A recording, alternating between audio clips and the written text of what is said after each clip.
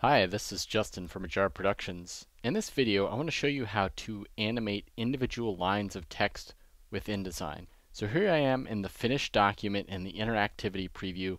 Let's take a look at what it looks like when it's finished. I'm just going to click the play button to play the preview. And there you can see the animation coming on one line at a time. So here's what the starting document looks like. I have all my text in one text frame. Each line is styled differently, but it's all part of one text frame. So if I tried to animate this right now, it would just move as a block. We can even test it out. Uh, I can only apply one animation to it, so let's do like a fly in from the bottom and test that.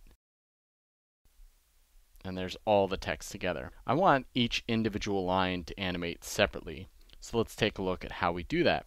I could cut each line and paste it into its own text frame, but that's kind of a pain even with three lines. Now imagine I had even more lines or I wanted to animate each character. There's got to be an easier way to do this. Well, fortunately there is. I've created a split text extension for InDesign. To download it, just go to this website. When you enter your name and email address and hit subscribe, you'll get an email. Inside the email is a confirmation link. When you click that confirmation link, it will take you to a download. Once you get the file downloaded to your hard drive, you can unzip it. I'm just going to do that in the Mac by double clicking. And inside there, there's an installer. Choose the one that matches your operating system and double click to get started. Choose the version of InDesign you want to install it with. Click Select.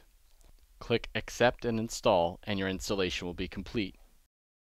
Now back in InDesign, if you go up to Window, down to Utilities, and Scripts, that'll open your Scripts panel. Inside Application, which you might need to twirl open, and Ajar Productions, you'll find the Split Text extension. To run it, double click on it, and then there are a lot of different options to split, and we're just going to choose every line in this case, and then click OK.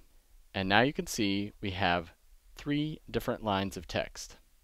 Now I want this line to be in front, so I am just going to hold Command Shift and the right bracket to bring it to the front.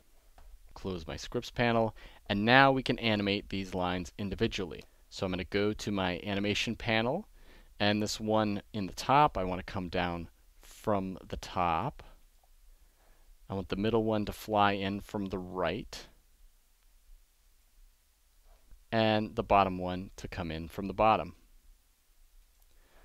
Now let's test that out. I'm going to hit the preview spread button at the bottom of the animation panel and that'll open the interactivity preview and I'm just going to hit the play button to refresh it. So now these come in one at a time exactly as we want. And now I can do some tweaking to get the animation exactly the way I want it because right now it's a little slow and it just plays one at a time. I want to have it be a little more dynamic. So I'm going to close this and I will select the first line. And let's see, mostly I just want this one to be faster. So I'm going to make it a half second instead of a whole second.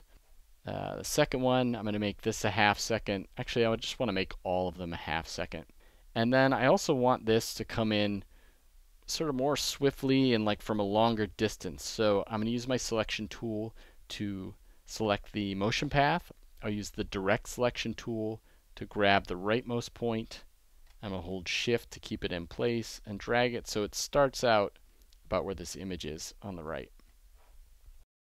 And then I actually want the motion path for the bottom one to be a little shorter. So I'll select that one and basically do the opposite with that.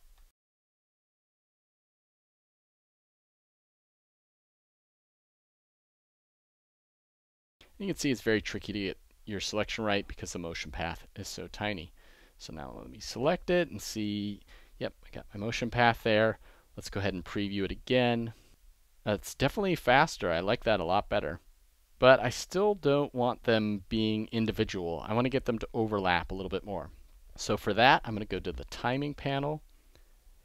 And I actually want these to play kind of together but on a delay so they don't wait for each other to start.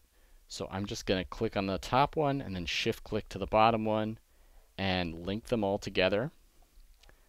And then I'll add a quarter second delay on the second one and a half second delay on the last one. And let's take a look and see how that appears in the preview. That's exactly what I'm looking for.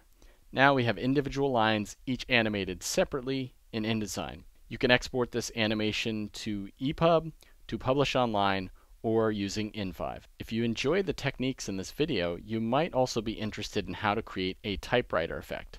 That lesson can be found in this free online course. You can visit the URL on screen and then scroll down through all the lessons, to the very last one, how to create a typewriter effect. And there you'll find a lesson that does a similar effect, except that it does it with each individual character. That's it for this video. If you found it useful, please click the like button.